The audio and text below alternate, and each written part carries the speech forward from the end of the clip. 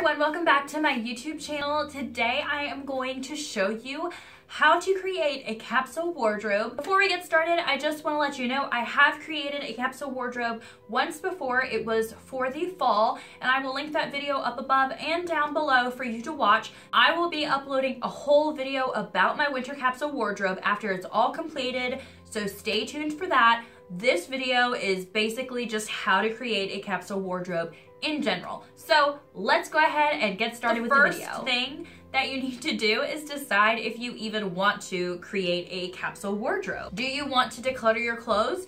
If you have a whole closet, and this went for me before I downsized, I had a whole closet of clothes that I didn't wear probably even, I probably didn't even wear three quarters of them. I had my favorite outfits or I had my favorite pieces of clothing and those were the ones that I just kind of gravitated to all the time. I didn't want to wear things that were uncomfortable. I didn't want to wear things that obviously didn't fit. I didn't want to wear things that I didn't like the color or style. And so I really just gravitated toward the, you know, 10 items that I actually liked. When I decluttered my wardrobe, it really helped with the problem of never have anything to wear. And then I had clothes in a whole bunch of different sizes. And so it was a lot easier once I figured out what I was comfortable in and what fit me. I decided to keep only a few items that I didn't fit in that I actually put away so I wasn't always eyeballing them.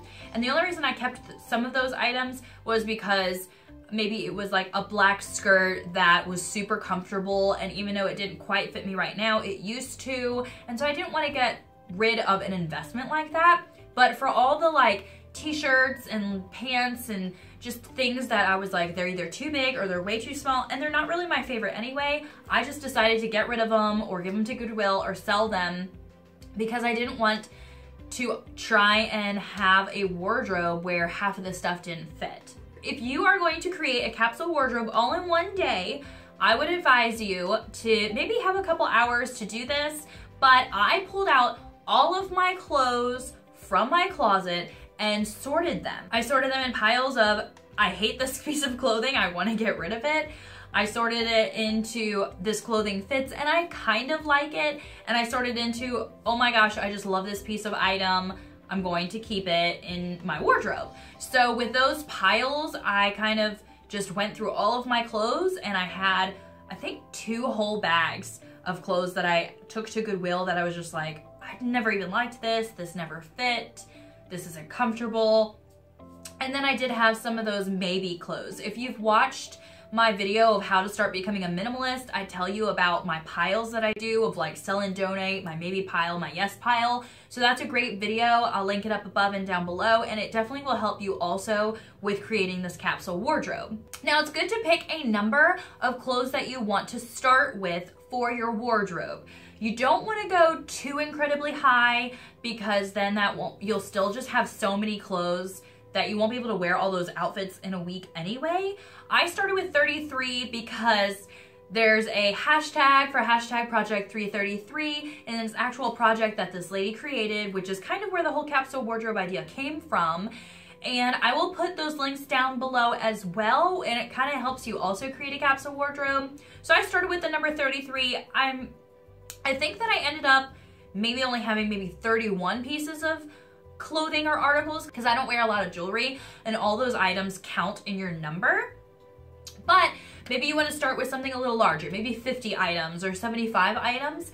And then after this first time you're creating the capsule wardrobe and you know a couple months go by and you're going to create your next season one, you find out that you didn't wear 20 pieces, then you can always make your number go down further. The number of clothes that you're saying does not count your pajamas, your intimates, your socks, and your workout clothes as long as you aren't wearing those clothes every day. So I actually have some exercise leggings that are super comfortable and and I do wear those even when I'm not exercising. So I do count those in my actual wardrobe number because I will wear them with a comfortable sweatshirt or something like that. If you are only wearing those clothes for a workout, then obviously you would need a different outfit for the day so you don't have to count your workout clothes or your three piles that you will be sorting your clothes out to, your yes, your no, your maybe. For each piece of clothing, you wanna ask yourself, would you wear it every week?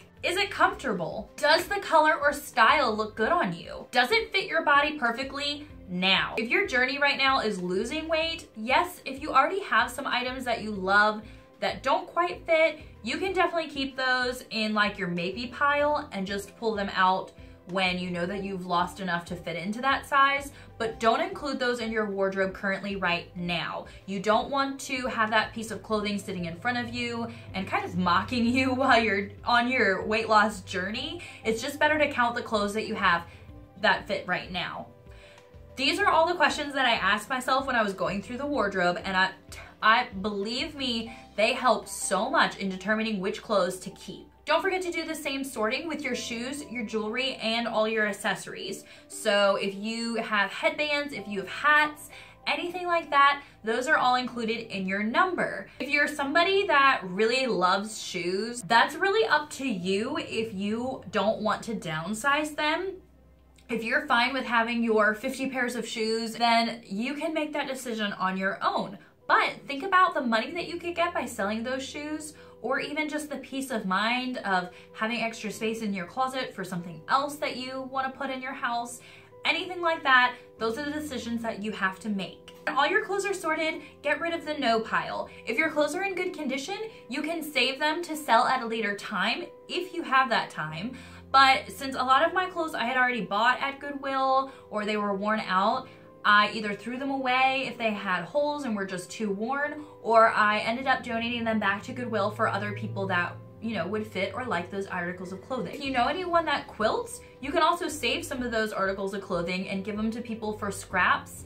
My mom is actually taking all of my old t-shirts and making a t-shirt quilt out of them. Take your yes pile and set it out in front of you. How many pieces of clothing have you saved? If you have way too many articles of clothing in this yes pile, go through it and see if you can prioritize ones that you like the most and put the other ones in the maybe pile. Now you can start setting your clothes out as outfits. Do you have any good solid outfits or do you have too many bottoms and not enough tops? Think about the type of work that you do most days. If you're a stay-at-home mom, maybe you need a lot of comfy clothing. If you work all the time, maybe you need a lot of professional clothing. I actually wrote a list when I was figuring out my outfits and tried to figure out just what I needed for the type of things that I do every day. Did I have too many bottoms? Did I have too many tops? And I kind of wrote out a list of things that I needed. So I knew that I didn't have like a pair of sneakers that I could just wear if I was running to the grocery store. I had my flats and I had my boots, but I needed something that was a little bit more comfortable and casual. So I wrote on my list that I wanted to invest in a pair of Converse sneakers. I actually did find those at Ross for almost about half price, which was fantastic. And I found out that that really rounded out my wardrobe completely. So if you're going through your wardrobe and you're trying to pair outfits together and you realize that you don't have a black skirt that you can wear with all your different skirts, you know, to change it up professionally, then maybe you wanna go out and invest in a good black skirt that fits you and is very comfortable and you know that you would wear all the time. Or if you have way too many jeans, maybe you wanna pare down the jeans that you think you would wear or would go with your outfits perfectly, or maybe you need to go and get some more tops for your bottoms to try and even out some of the outfits. A lot of people, when they're building a capsule wardrobe, they stick, they stick to a color theme. So a lot of them do blacks, whites, grays, you know, neutrals like that.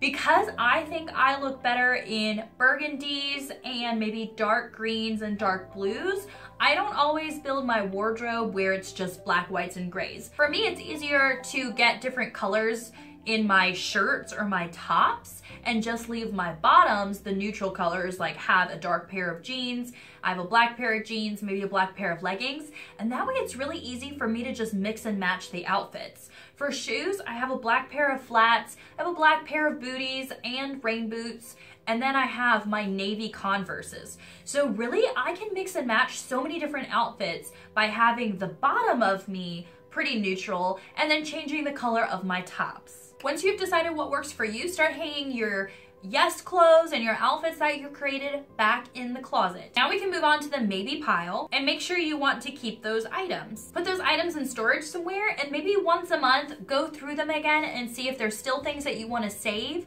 or if, especially if they're in a different size, if any of those clothes fit you and you can swap out a piece of clothing that you've like grown out of or lost weight for and swap out the piece of clothing that actually fits now. I set a rule that if I have not worn the piece of clothing that was in my maybe pile for three months, then I decide that I probably don't like it as much and I don't need it in my wardrobe. So then I go ahead and get rid of that as well. For your wardrobe, it does not need to stay the same for every season. If you have gone a month and you created your capsule wardrobe and after that month you've realized there has been three shirts that you just still haven't worn, go ahead and get rid of those or switch them out for something else you've really been wanting. If you need a new jacket, switch out one of your shirts that you don't wear for a new jacket. But the point is, is you don't wanna always buy new clothes and make your wardrobe bigger. You wanna keep it kind of around the same number. And that way, if you get tired of something, you can switch it out for something that's brand new. If you find that you're missing something from your wardrobe that you would need, it's best to start looking at Goodwill. If you live in a great area, sometimes you can find amazing articles of clothing that are name brand and you can find them for cheap at Goodwill or start checking some sales. Like since I needed the Converse, I didn't just go out to the website and buy Converse, although if that's who you are, you can do that. I tried to find the exact sales so that way I could get it cheaper. And I do that with my clothes as well. I don't go out and buy something unless I absolutely need it the next day. I wait until I find something on sale or I wait until I find something that I really, really love.